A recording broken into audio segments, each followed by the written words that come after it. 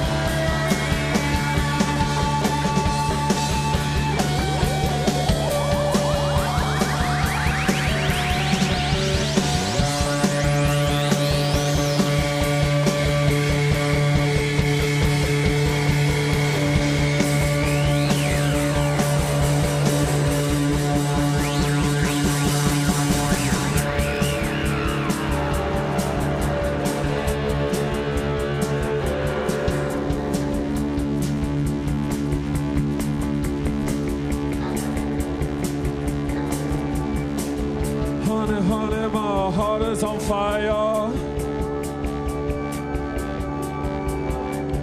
Hold me down, I'm going higher and higher. My heart is on fire. My heart is on fire. My heart is on fire. My heart is on fire.